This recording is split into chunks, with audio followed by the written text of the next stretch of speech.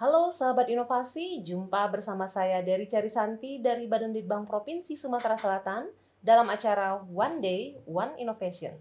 Satu hari satu inovasi, tiada hari tanpa inovasi. Sahabat inovasi, saat ini inovasi menjadi sebuah keharusan. Dunia terus berubah, maka kita harus adaptif dan inovatif. Untuk menginspirasi, kami hadir dengan para inovator hebat dengan inovasi-inovasinya dalam acara One Day One Innovation. Baik sahabat inovasi, saat ini kita masih berada di studio podcast One Day One Innovation Balitbangda Provinsi Sumatera Selatan dan telah hadir bersama kita Bapak Osep Sutisna SP dari Sila Beranti Grab dengan judul inovasinya penyimpanan mata entres atau calon bibit tanaman anggur tahan lama.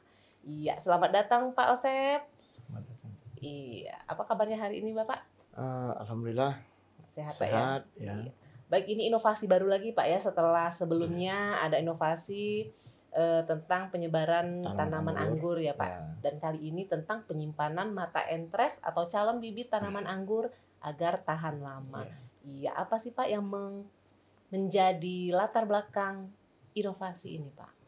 Uh, ya mungkin kami ucapkan dulu Assalamualaikum warahmatullahi wabarakatuh. Waalaikumsalam. Uh, saya Osep Sutisna.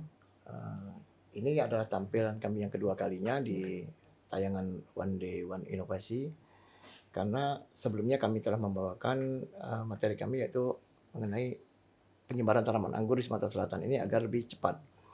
Karena tanaman anggur ini itu Mbak Delica itu bahwa tanaman anggur ini merupakan tanaman yang baru untuk berkembang di Sumatera Selatan ini. Jadi masih banyak masyarakat yang belum memahami tentang budidaya maupun cara perawatan tanaman anggur. Jadi kami juga masih terus menggali dan terus sharing bersama para senior-senior yang sudah ada.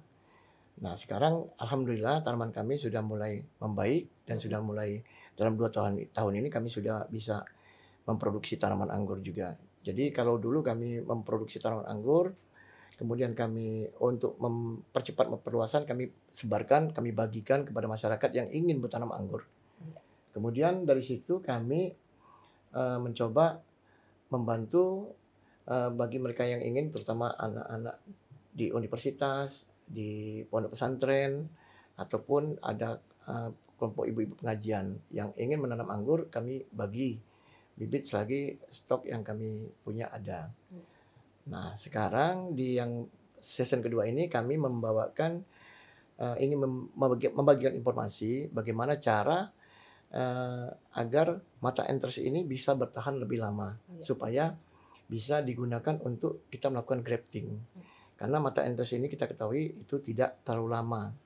Dia paling dua minggu sudah kering kan gitu. Kalau tanpa perlakuan khusus.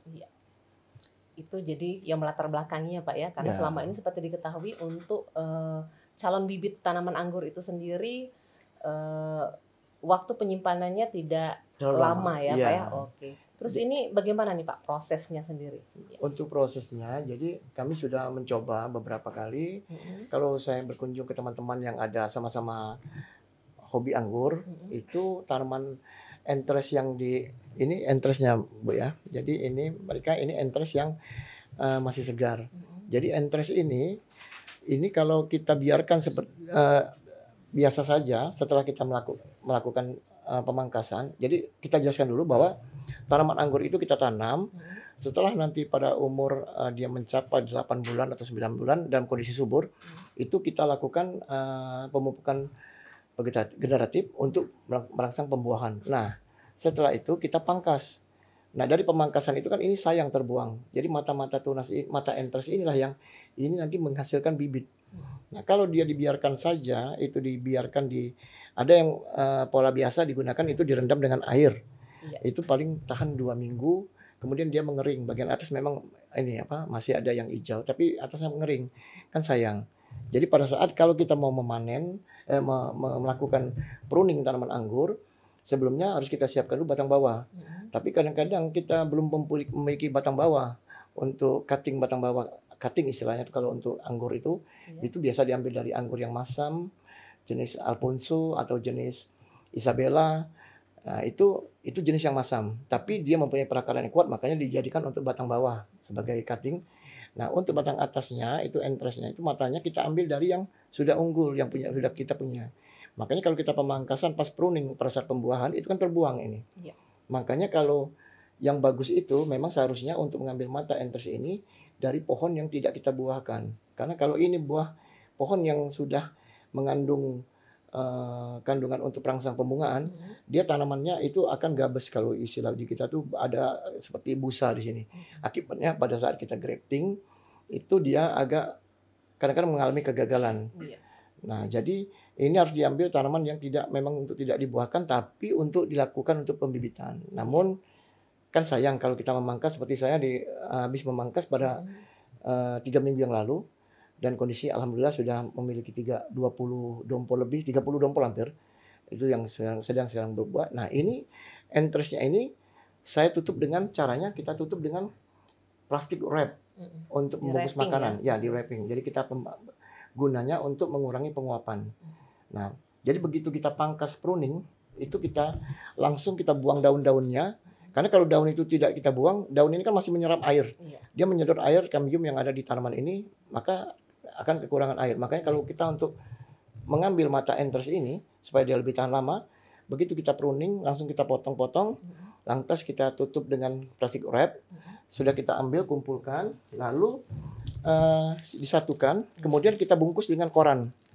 Kita bungkus dengan koran dulu. Setelah di ini ini tertutup semua ujung sama ujungnya ditutup kita bungkus dengan koran.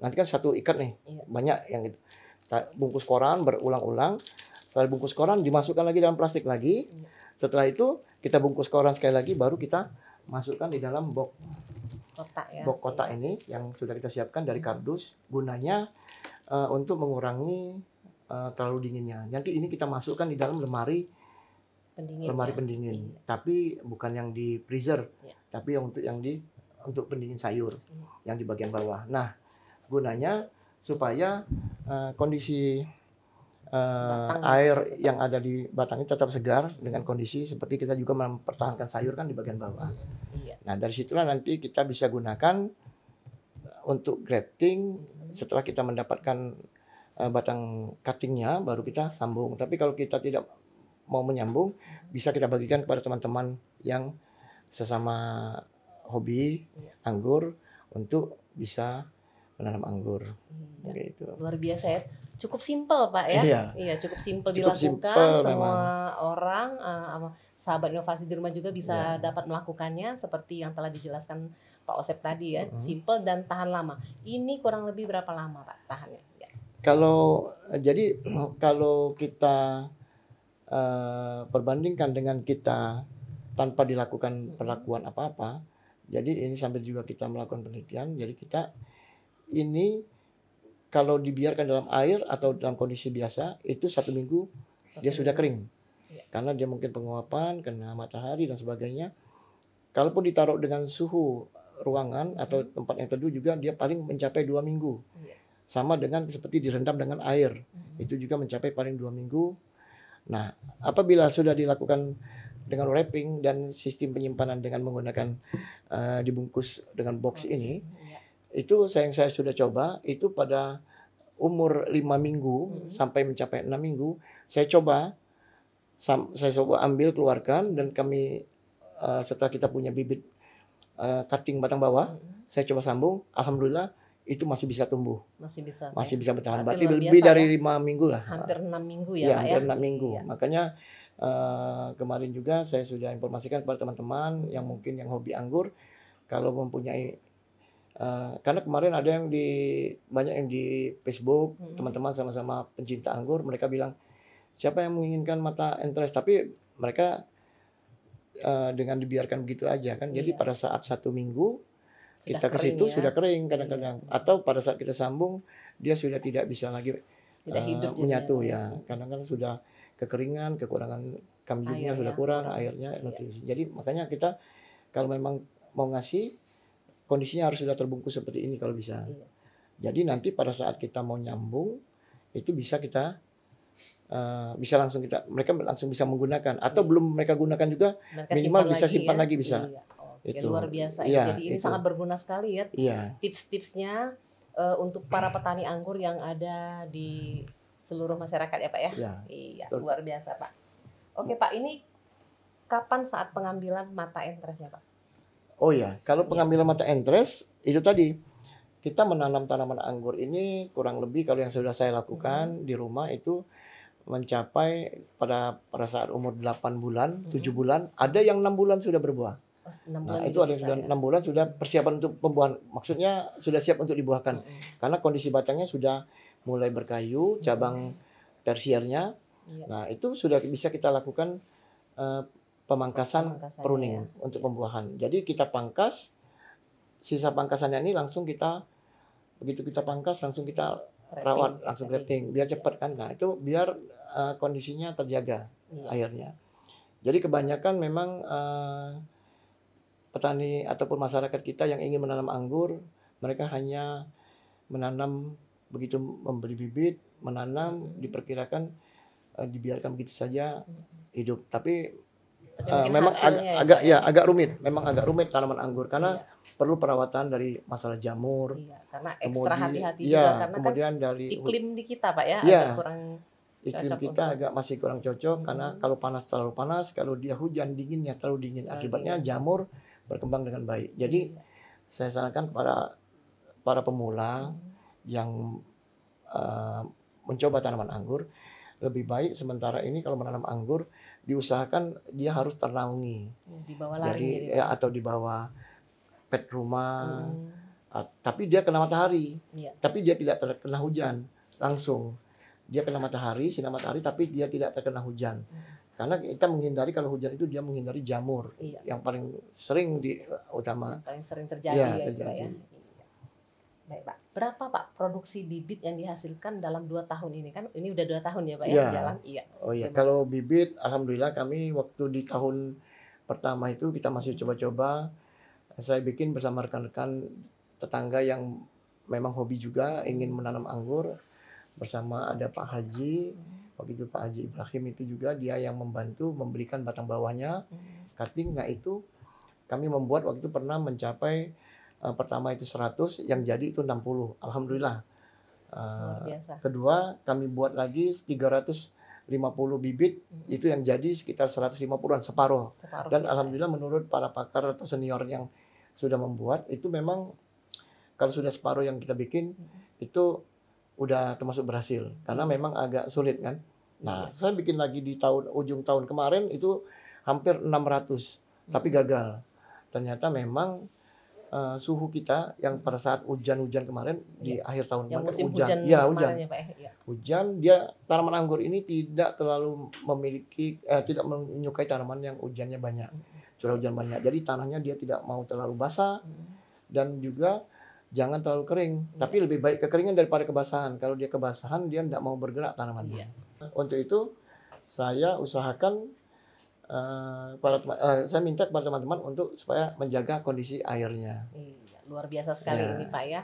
Oh, Inovasi eh, Entrust ini Pak ya. Mungkin saya Iya. tambahkan bibit eh, tadi menanyakan bibitnya ya. Bibit Mhm. itu alhamdulillah sampai dengan eh, dua tahun ini kami sudah mencoba kurang lebih dari 200 bibit kami sudah bikin Mm-mm. 200 lebih lah. Tapi kita ambil 200 bibit yang sudah dan sekarang kami bikin lagi ini sudah ada sekitar 80 bibit Mm-mm. yang siap makanya ini kemarin dapat mata interestnya bekas hasil pemangkasan Iya, belum bisa disambung karena kami cuttingnya kekurangan cuttingnya masih kurang. Iya, ya. jadi Iya. kita lagi mencari kalau Iya. ada yang batang-batang yang asem kita ambil Mm-mm. atau kita barter Iya. Nanti kita ganti bibit yang bagus biar dia punya bibit yang manis kita ambil batang asem Iya, luar biasa. Ya. Ini juga diketahui Pak ya kan bibitnya ini ada yang dijual dan sebagian juga Bapak bagi-bagikan juga ya. Ya. Iya, ini kalau dibagikan ke mana saja nih Pak ya? kalau kemarin Iya. kita bagikan kepada lingkup ke- teman-teman satu kantor Hmm, iya. kemudian juga kepada masyarakat tetangga di sekitar Uh, saya juga membantukan kepada mahasiswa universitas Mm-mm.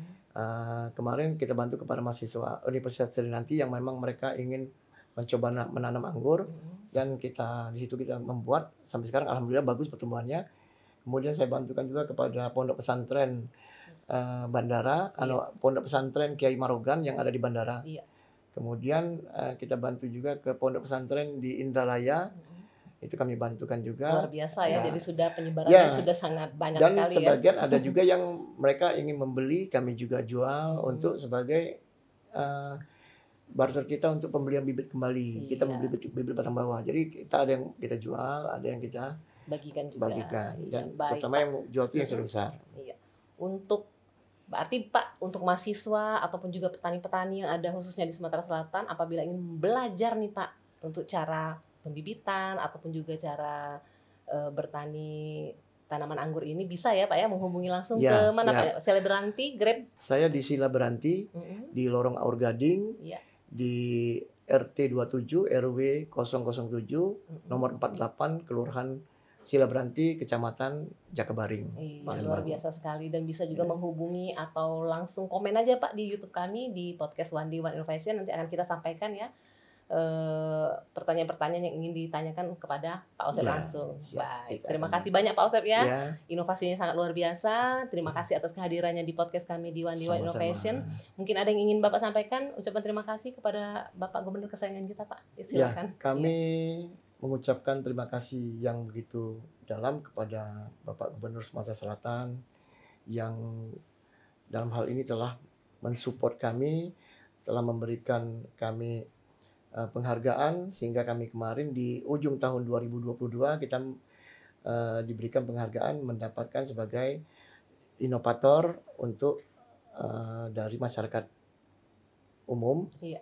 yang inovatif itu Luar kami ucapkan terima kasih. Kemudian kami ucapkan juga kepada Bapak Kepala Badan Penelitian dan Pengembangan Provinsi Sumatera Selatan yang juga mensupport kami dalam eh, kami berkarya untuk bisa menghasilkan produk-produk yang bisa produk-produk inovasi yang bisa untuk disebarkan kepada masyarakat Kota Palembang. Iya, luar biasa. Sekali lagi kami ucapkan terima kasih Pak atas kehadirannya di podcast One One Innovation. Mbak. Tetap terus Iya. menginspirasi sahabat inovasi di rumah Pak dan Iya. kami tunggu inovasi selanjutnya Pak ya dari Sila Beranti Grab Siap, Kota Palembang. siap. Baik. Baik sahabat inovasi, untuk informasi lebih lanjut dapat memberikan komentar serta saran pada YouTube podcast One One Innovation. Kami tunggu like serta subscribe-nya. Dan kita juga masih punya jurus 4S. Setiap orang adalah inovator, setiap masalah peluang inovasi, setiap solusi harus sinergi dan setiap inovasi harus konkret hasilnya. Demikian sahabat inovasi, ditunggu di podcast selanjutnya. Salam inovasi. Salam inovasi.